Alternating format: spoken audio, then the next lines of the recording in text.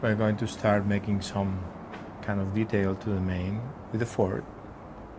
We're going to follow more or less the lines of the coils that we did before. Later we are going to smooth this with our fingers.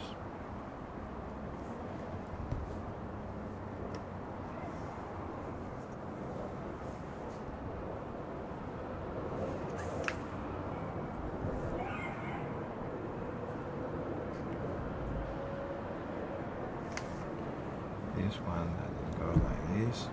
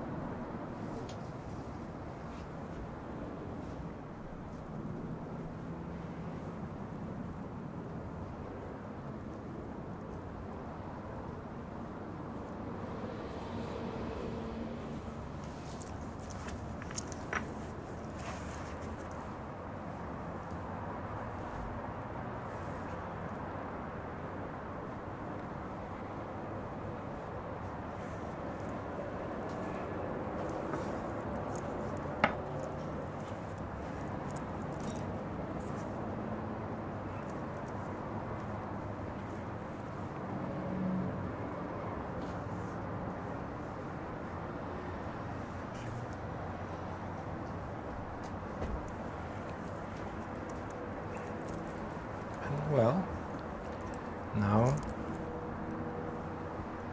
just the finishing touch of the eyes defining the eyes though nostrils Okay, don't, don't let one goes by before you talk. So just keep talking. Keep going.